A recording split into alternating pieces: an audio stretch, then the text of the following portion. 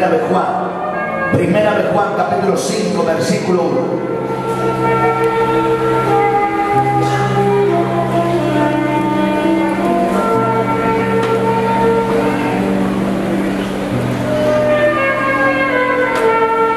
Vamos a ver qué es lo que el Señor nos quiere enseñar en esta noche maravillosa.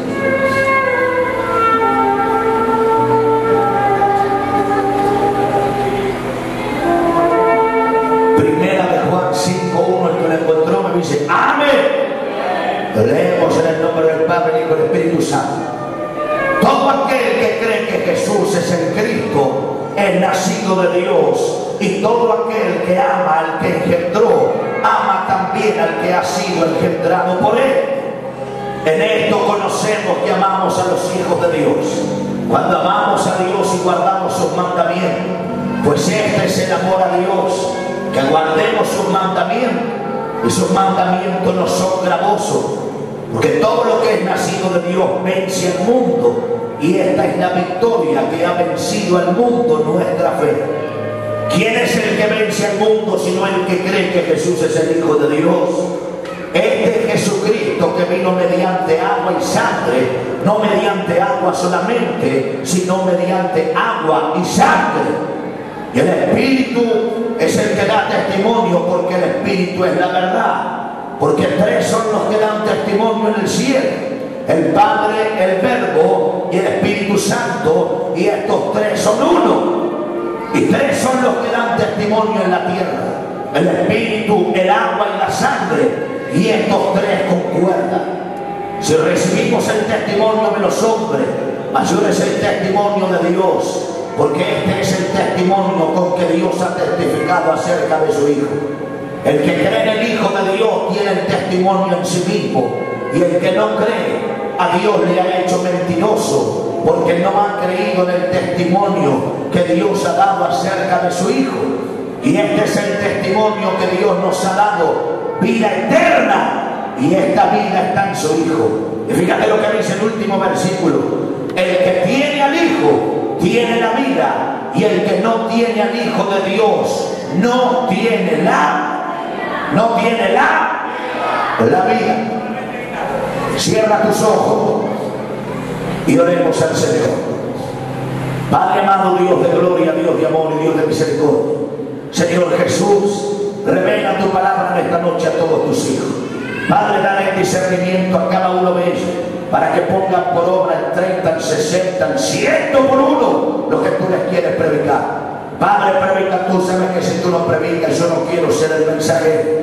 Utilízame como una simple herramienta en tus manos para que la unción, para que la bendición, para que los prodigios, milagros, maravillas y liberaciones desciendan del alto cielo. Y así el día de nuestras muertes, todos los que estamos aquí y nuestra familia podamos ganar un lugar en el reino celestial para la gloria y gracia de su nombre. Amén. Amén. El pueblo dice, la iglesia dice, no se escucha, la iglesia dice, amén. Venga a tu hermano y amén, hermano. ¿Cuántos saben que el diablo siempre se va a levantar, hermano? Levante la mano, ¿verdad o no? Siempre el diablo se levanta. Siempre el diablo se va a meter en alguien para robarte la fe. Siempre el enemigo se va a meter en un hijo, en un hermano, en un sobrino, en un tío, en lo que sea, para sacarte la bendición. Ahora el problema es que si tú le permites al diablo robarte la fe, el débil eres tú. Porque el trabajo de él es robarte la fe. ¿Cuántos dicen amén? El trabajo de él, hasta que tú te mueras, será que te ponga trabas, será que te quiera bajar los brazos, será que te quiera quitar la bendición. Pero si tú eres fuerte, y vas contra todas las acechanzas del diablo y no te importe lo que te haga, yo te aseguro que no habrá demonio, no habrá principado que pueda frenar la voluntad de Dios en tu vida. Cuanto y aplaude fuerte los que están firmes en la voluntad de Dios.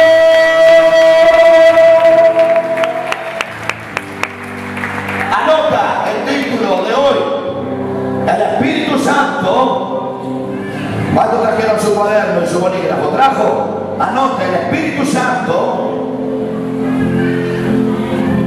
me llevará al cielo. ¿Cuánto dicen amén?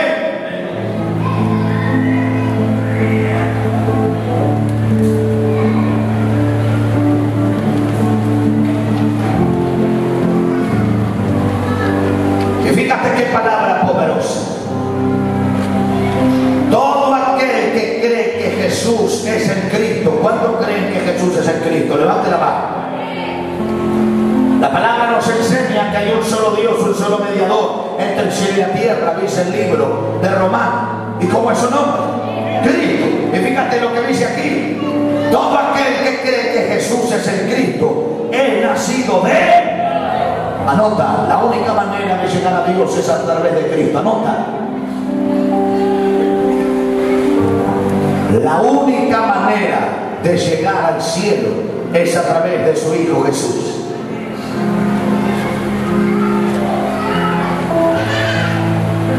Y fíjate lo que dice el versículo 2. Cuando dice que la única manera de llegar al cielo y de llegar a Cristo y a llegar a, través de su presencia a Dios y todo aquel que ama al que engendró, ama también al que ha sido engendrado por él. ¿Qué significa la palabra engendrar? Diga conmigo, crear. Anote, engendrar igual crear. La palabra de Dios me enseña que aquel que ama al engendrado quiere decir aquel que fue creado. Jesús fue creado por quién? Por Dios. Es el Hijo de Dios. Dios dijo, voy a tener un solo hijo. Diga conmigo, uno solo. Dios tiene un solo hijo. ¿Cómo se llama ese solo hijo? Cristo. Denle fuerte aplauso al único hijo que tiene Dios.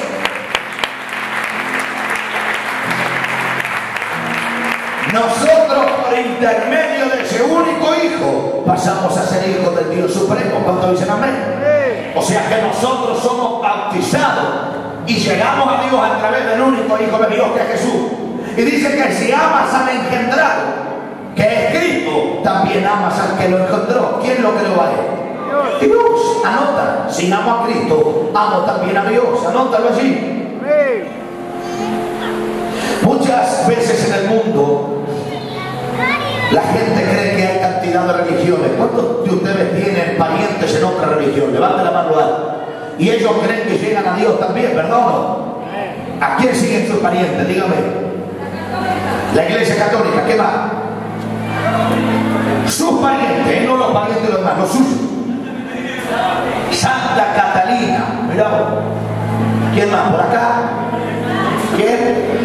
La universal, esos negros están demoniados.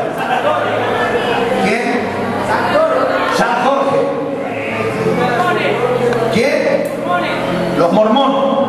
Otro más demoniado. ¿Quién más? Testigo de Jehová, es peor que todo. ¿Quién más? Adventista, otro más. O sea, ellos creen. ¿Y, y cuántos estuvieron en alguna vez esa religión alguna vez? Para, levante la mano, ¿verdad? Yo también estuve. Y nosotros creíamos que llegábamos a Dios, pero siempre estábamos igual. ¿Cuántos dicen amén? Nosotros creíamos que los mormones, hubo algunos de los mormones, otros los dentistas, otros los testigos de Jehová, otros Iglesia Universal, otros San Jorge, Gaucho Gil, San Espevito, eh, eh, Papá Pitufo, qué sé yo, tantos dioses paganos que hay. Creíamos que llegábamos a Dios, hermano. Pero esos dioses son todos dioses paganos que te llevan al infierno. El único Dios que te lleva y te acerca a Dios se llama Jesús de Nazaret a través del Evangelio.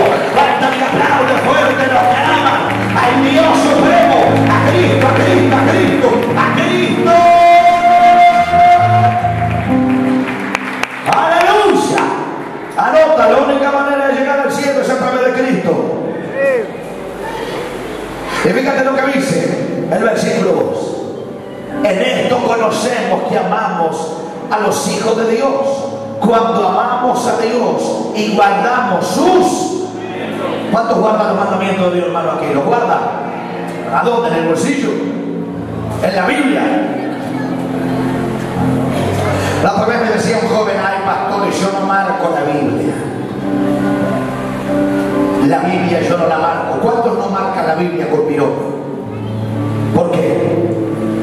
Porque es la Biblia. Porque es sagrada. ¿Verdad o no? ¿Quiere que le enseñe algo? ¿Quiere aprender? Lo que te salva no son las hojas. Lo que te salva, lo que está dentro de ella, que es la palabra poderosa del Señor. Cuánto le aplaude fuerte, la palabra, la palabra, la palabra.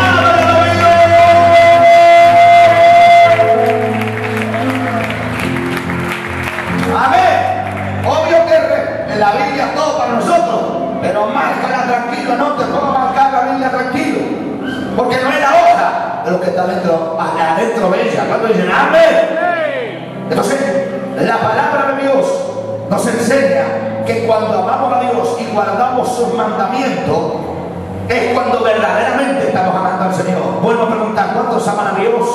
¿Ama a Dios? Si se alejó del pecado, lo está amando. Si no, no. ¿Cuántos dicen amén? Porque para amar a Dios hay que alejarse del pecado. ¿Cuántos se alejaron del pecado, hermano? Levanta la mano. Largó la botella, el cigarro, el baile, el adulterio, fornicación, brujería, hechicería, suegrería. Largó todas las maldiciones. Entonces ahí vamos por buen camino. ¿Cuántos dicen amén? Porque para amar a Dios no solamente tenemos que alabar. Yo conozco gente que congrega, que va a las iglesias en diferentes partes del mundo, pero sale afuera y tiene dos maridos. Tiene el marido y tiene el novio. O tiene dos mujeres, tiene la mujer y tiene una novia. Ese no ama a Dios, hermano. Se están demoniados. ¿Cuándo se amén? Porque los que amamos a Dios, hermano, hemos entendido que hemos muerto a este mundo y ya no vivimos yo, sino que vive Él en mí. Ya no vives tú, sino que vive Cristo en ti. ¿Cuánto le aplaude fuerte? Los que viven llenos de la presencia de Dios.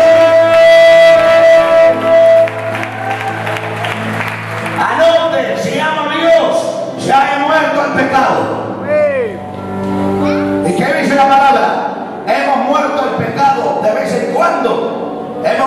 al pecado cuando tenemos ganas. O dice que cuando moriste al pecado, moriste una vez y para, para, para siempre.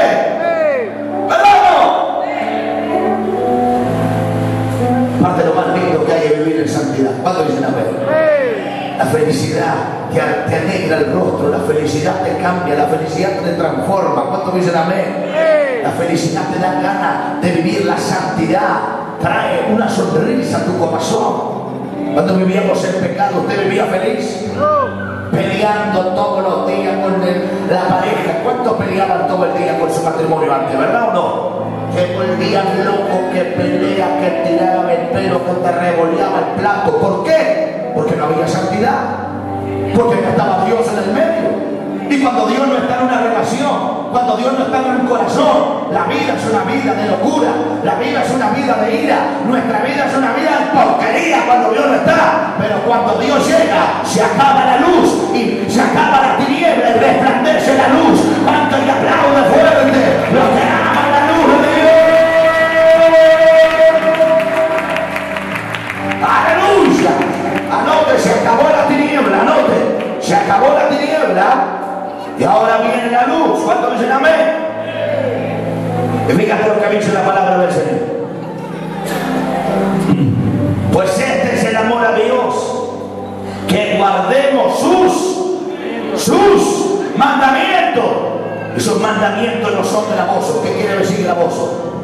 Que no son graves, que no son pesados, que no son difíciles. ¿Cuántos saben que el seguir la palabra no es difícil, hermano? Levanta la mano, ¿verdad no? Difícil se la hace el que no quiere cambiar. ¿Cuántos quieren cambiar, hermano? Levanta la mano. Para mí es un placer venir a la iglesia. Para mí es un placer dejar de haber ido a la noche para dedicarme a la bendición. Para mí es, es, es una alegría estar en la casa de Dios. ¿Para cuántos de ustedes es una alegría, hermano? Levanta la mano. Porque no es grave, es felicidad. Anota, Dios es igual a la felicidad. ¿Qué dijo Cristo? Yo soy la paz que el mundo jamás os. ¿Verdad o no? Hoy tenemos paz, gracias a Dios. Hoy podemos sonreír, hoy podemos disfrutar. Gente con tanto dinero, ¿y de qué sirve el dinero? ¿Verdad o no? Si no hay paz. ¿De qué sirve tener la mesa llena de comida si tu esposo y tus hijos no están?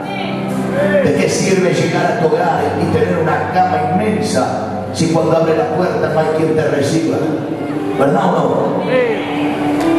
Qué feo es entrar a tu casa y estar solo, ¿verdad? ¿A cuánto no le gusta la soledad, hermano? Levanta la mano alta. Yo aborrezco la soledad, hermano. Si hay algo que odio es la soledad.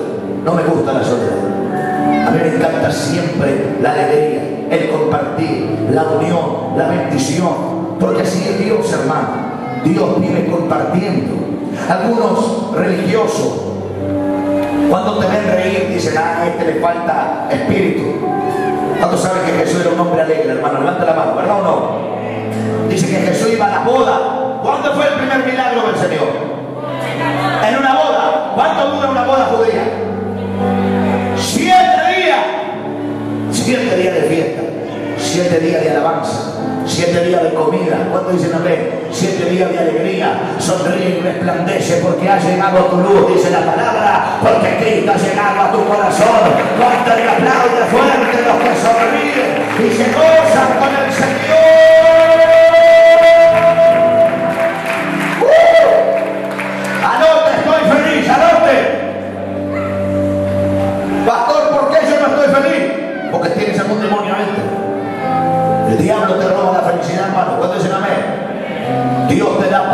El diablo te la quita. ¿Y por qué el diablo me quita la paz? O le abriste una puerta o está pasando una prueba. ¿Cuándo dicen amén? Hay dos maneras que el enemigo puede entrar. O le abriste la puerta con el pecado o está pasando por una prueba. Pero que el cristiano tiene que vivir feliz, el cristiano tiene que vivir feliz. Tenga o no tenga, tiene que sonreír. ¿Cuándo dicen amén? Una de las cosas a las cuales yo me acerqué al Evangelio era que veía gente muy pobre sonreír. Y yo tenía el mejor auto y congregaba en una iglesia cuando era jovencito. Y llegaba con el mejor auto a la iglesia, con la mejor ropa. Pero llegaba con una cara endemoniada, hermano, y entraba y los miraba. Y de repente miraba a hermanos que iban a la iglesia, que capaz pobres no tenían ni para comer, porque los conocía. Y uno veía tan feliz. Y yo entraba y me miraba Hola hermano. Feliz. ¿Cómo hace? Recién llegaba a la iglesia. ¿Cuánto dicen amén? Y vivía feliz. Y seguía el colectivo. Yo me iba a mi auto nuevo. Pero él estaba feliz. ¿Cuánto dicen amén? Y eso es lo que yo quería, hermano. La felicidad. La felicidad no la hace el dinero, hermano. El dinero ayuda a que tengas un mejor pasado en esta tierra. Pero si hay algo que da vida corazón del hombre, es estar junto a Dios hasta el último día de su vida. Canta y aplaude fuerte, hermano, los que están alegres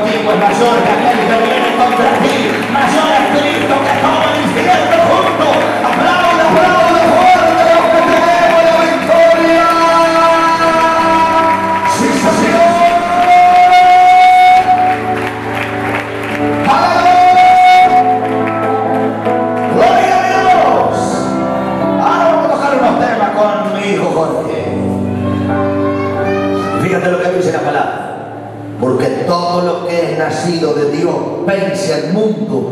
Y esta es la victoria que ha vencido al mundo nuestra carne. Así dice.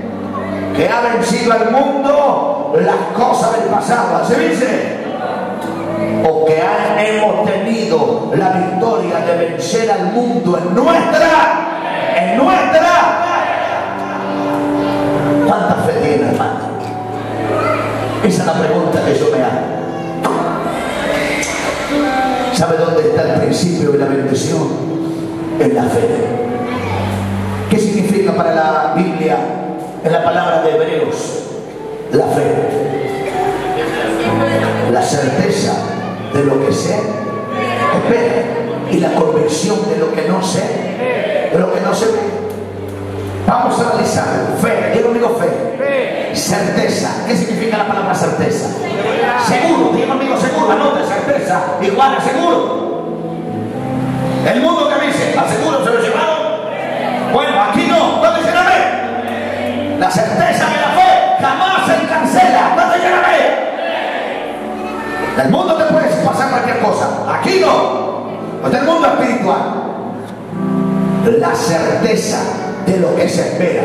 ¿Cuántos tienen certeza de que están esperando algo que va a llegar? Levante la mano. Diga conmigo, va a llegar mi bendición. No, no, pero convencido por la fe. Pues dice, va a llegar mi bendición, pues dice, me voy a morir. Otra vez, digo conmigo, va a llegar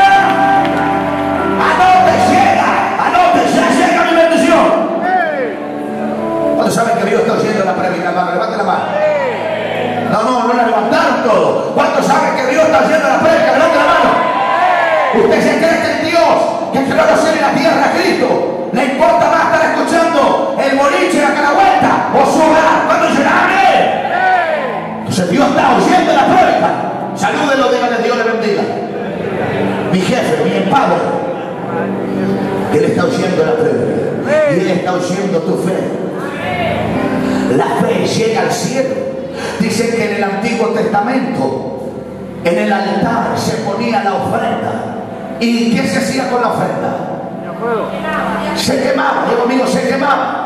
Cuando se quemaba la ofrenda, el cabrito, el cordero, lo que hayan puesto, ¿qué pasaba con ese humo que iba hacia arriba? ¿Hacia dónde iba? Hacia el cielo. Como olor fragante. Quiere decir que la ofrenda, el fuego comenzaba a quemar. Dice que ese humo iba subiendo y llegaba a Dios. Y ahí Dios decía, me están ofrendando mis hijos, porque están pidiendo perdón, porque están clamando a su Dios. Y cuando Dios ve que tu ofrenda, tu oración, tu fe se pone en marcha, es donde Él oye y recibe la bendición y te prospera el 30, el 60 y el 100 por uno. Cuando le aplaude fuerte los que saben, bendecid a Dios.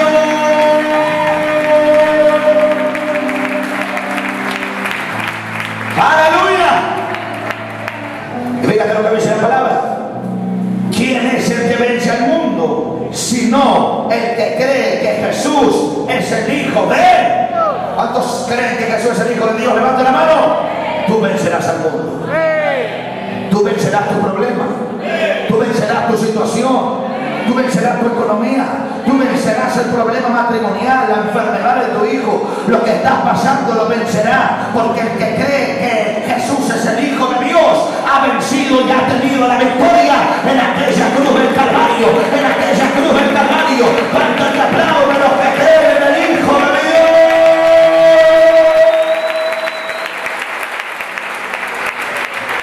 Anote, yo tengo la victoria, anote.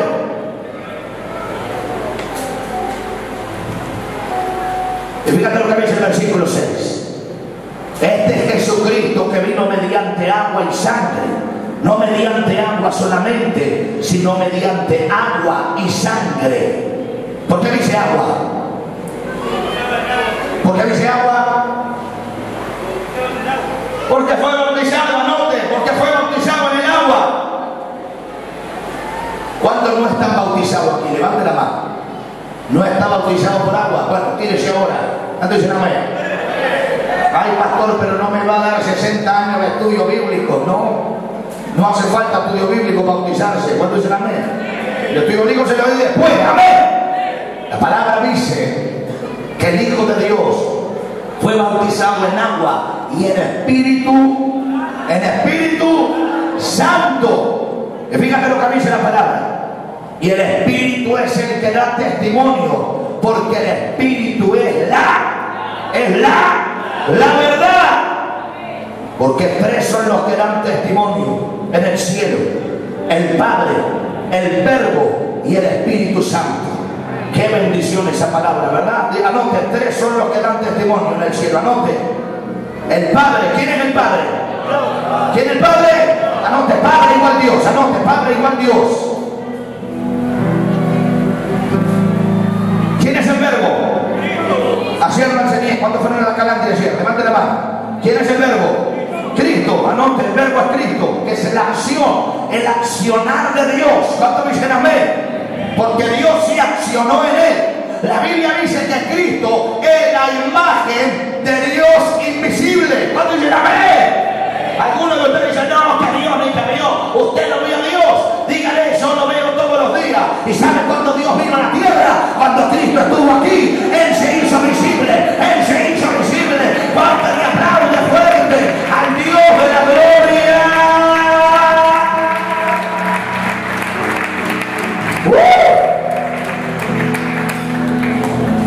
Amen.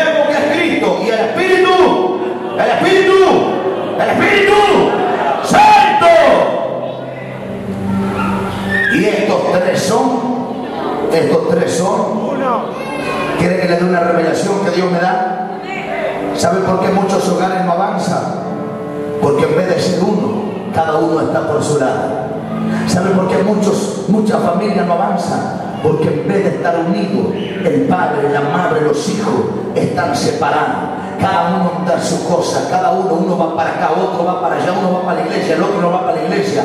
El día que sean uno, como fue Dios con el Hijo y con el Espíritu Santo, es donde viene la victoria para toda tu familia, es donde viene la victoria para toda tu familia. Los que tienen la victoria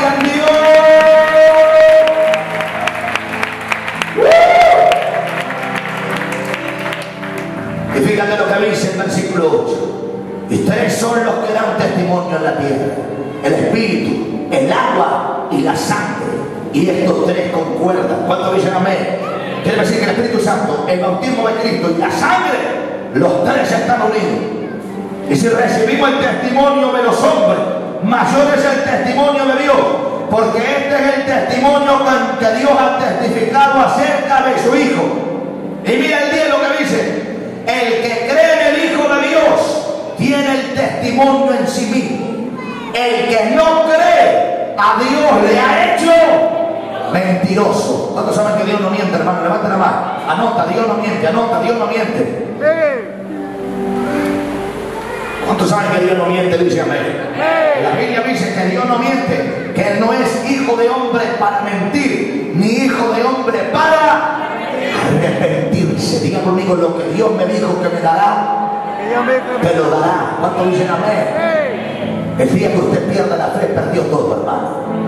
Tú puedes perder amigos, puedes perder finanzas, puedes perder familia, puedes perderlo todo, pero mientras no permita que el diablo te robe la fe, todo lo que el diablo te robó, Dios te lo dará y se dará la bendición, se dará la bendición. ¿Cuánto aplaude los que creen la bendición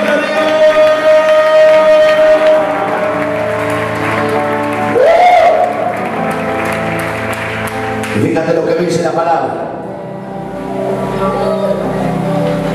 Y este es el testimonio que Dios nos ha dado. Este es el versículo que más me gusta, hermano. Porque en esto se basa nuestra iglesia. Fíjate lo que dice. Y este es el testimonio que Dios nos ha dado. Vida. No se escucha. Vida. ¿Cuántos saben que Dios es vida eterna, hermano? Levanten la mano. ¿Lo saben o no lo saben? Diga conmigo, yo iré a la vida eterna.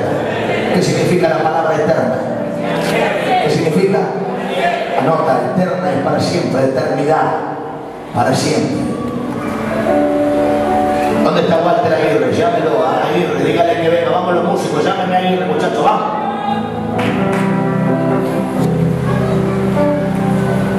Si hay algo que no me gusta es la, la, la quietud.